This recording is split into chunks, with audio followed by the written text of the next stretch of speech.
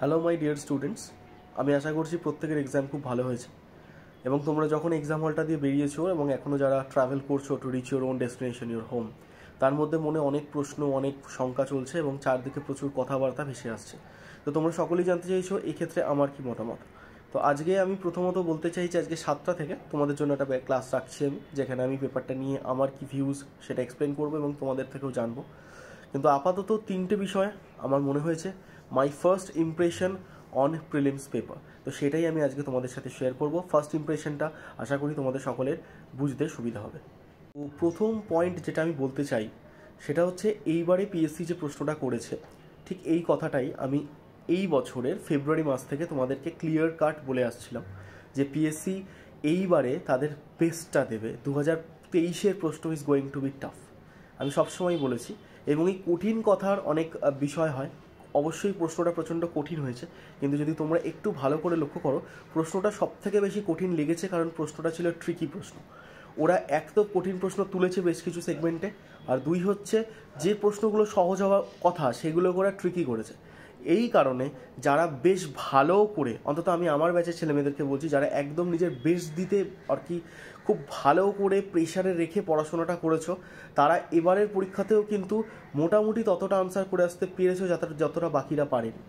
তো সেক্ষেত্রে একটা কথা বলে রাখি, এইবারে যে প্রশ্নপত্রটা হয়েছে দ্যাট ওয়াজ ভেরি প্রেডিক্টেড যে এবারে বেস্ট হবে, কারণ আজকের প্রশ্নপত্রটা ছিল হচ্ছে পূর্বাভাস যে আগামী দিনে পিএসসি ডেসক্রিপটিভ করতে চলেছে।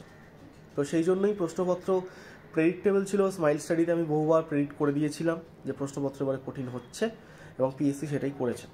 এবং তার সাথে আরও একটা কথা বলে রাখি, যারা যারা ভয় পাচ্ছ যে একশো তিরিশ, একশো চল্লিশ স্যার যেটা বলেছিল সেটা এবারে আমরা হয়তো অনেকে টেনে উঠতে পারিনি, সেটার পেছনে প্রচুর ফ্যাক্টর আছে, কিন্তু আমি একটা ফ্যাক্টর এখানে বলতে চাইব।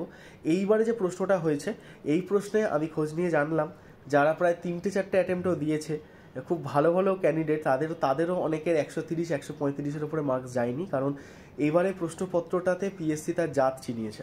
পিএসসি বুঝিয়েছে যে তারা কি পারে। আলটিমেটলি লিটারালি একটা ইউপিএসসির মতো গন্ধ পাওয়া গিয়েছে। তো সেক্ষেত্রে স্বাভাবিকভাবেই তোমরা যারা পড়াশোনা করে পরীক্ষা পরীক্ষা দিতে বসেছো, তাদের যখন খারাপ হয়েছে, তার মানে বাকিদেরও খুব একটা ভালো হবে না। আমি বলছি না যে খুব খারাপ হয়েছে, তোমরা তোমাদের বেস্ট দিয়েছ। এখানে কাট অফের গেমটা অন্তত আর চলবে না।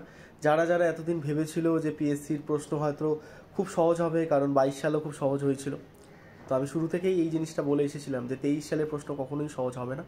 তো সেক্ষেত্রে আমি বুঝতে পারলাম as a mentor my prediction is okay তাই হলো এবং সবথেকে বড় কথা, সবথেকে কঠিন প্রশ্নটা পিএসসি এবারে করেছে।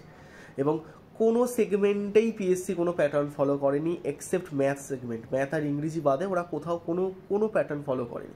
আর যেহেতু কোনো প্যাটার্ন ফলো করা হয়নি, তাই তোমরা যারা পড়াশোনা করে এক্সামটায় বসেছো, তারা যতটা বিপদে পড়বে, যারা অন্যান্য আমাদের রাজ্যের ছেলেমেয়েরা আছে, তারা একই রকম বিপদে পড়বে। আর যারা পড়াশোনা করে বসেনি, তারা ধুয়ে বেরিয়ে যাবে।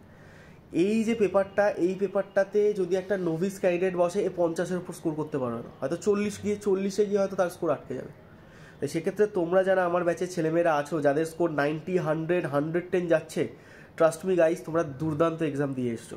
কারণ এইবারের এক্সামটা was the hardest of PSC MCQ এরা তো দেখা হচ্ছে সাতটার সময়, প্রত্যেকে বাড়িতে ফেরো, ফিরে একটু রেস্ট নাও, অনেক খেটেছো। সাতটায় দেখা করে তোমাদের সঙ্গে আমি বাকি কথা বলছি।